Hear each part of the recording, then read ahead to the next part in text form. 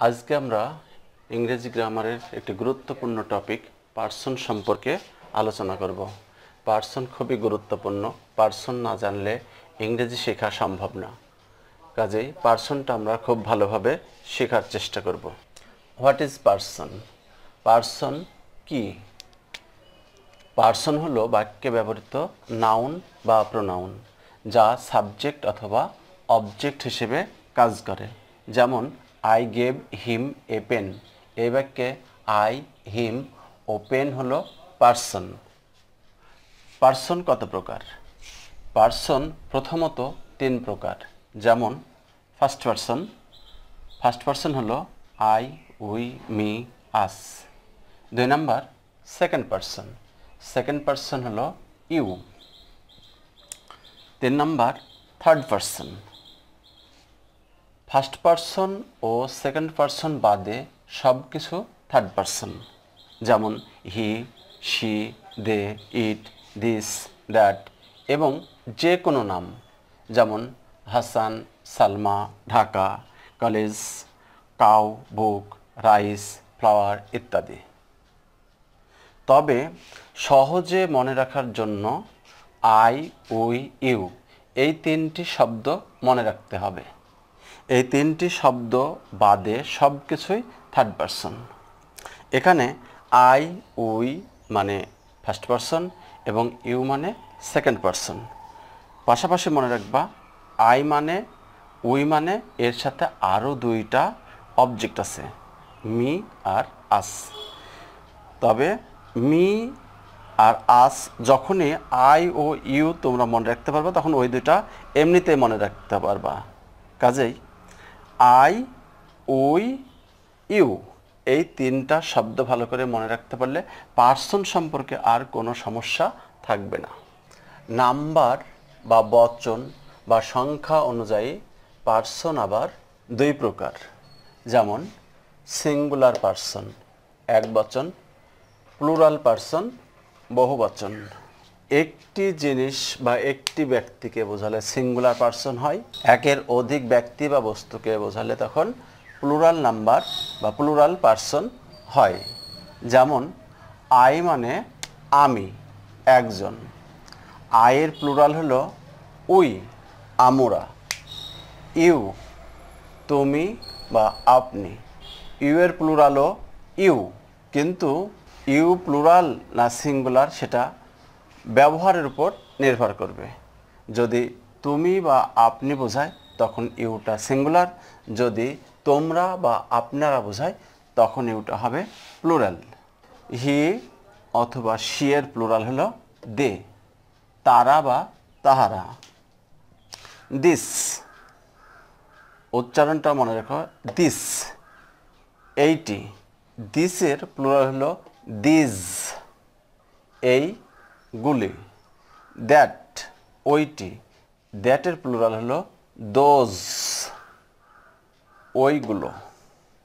বুক বই। বুকের প্লুরাল হলো বুকস বইগুলো। ম্যান মানুষ। মেন মানুষেরা। চাইল্ড শিশু মানে একটি শিশু। চিলড্রেন শিশুরা। অনেকগুলো শিশু। এই নাম্বারের উপর আগামীতে আমি ভিডিও দেব।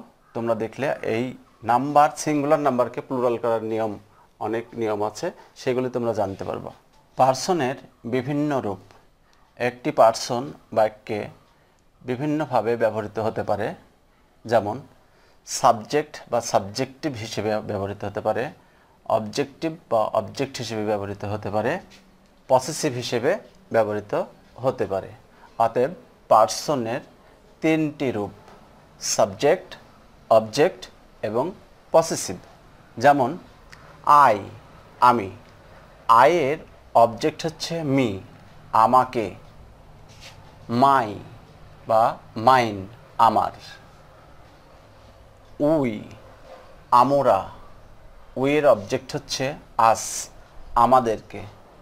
পসেসিভ হচ্ছে আওয়ার বা আওয়ার্স। আমাদের। ইউ, তুমি বা আপনি। ইউ এর অবজেক্ট হচ্ছে ইউ, তোমাকে বা আপনাকে। ইয়োর বা ইয়োর্স, তোমার বা আপনার।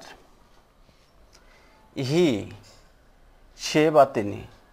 হিয়ের অবজেক্ট হিম, তাকে বা তাহাকে। হিমের পসেসিভ হচ্ছে হিজ তার বা তাহার। শি মানে সে বা তিনি শিয়ের অবজেক্ট হার, তাকে বা তাহাকে পসেসিভ হার বা হার্স তার বা তাহার। দে, তারা বা তাহারা। দের অবজেক্ট হচ্ছে দেম তাদেরকে বা তাহাদেরকে পসেসিভ হচ্ছে দেয়ার বা দেয়ার্স তাদের বা তাহাদের। ইট ইহা ইটের অবজেক্ট ইট ইহাকে ইটের পসেসিভ হচ্ছে ইটস ইহার। এখানে আরেকটা জিনিস তোমরা জেনে রাখবা, আয়ের পিওর প্রসেস হচ্ছে মাইন উয়ের আওয়ার্স ইউয়ের ইয়োর্স শিয়ের হার্স দেয়ারের দেয়ার্স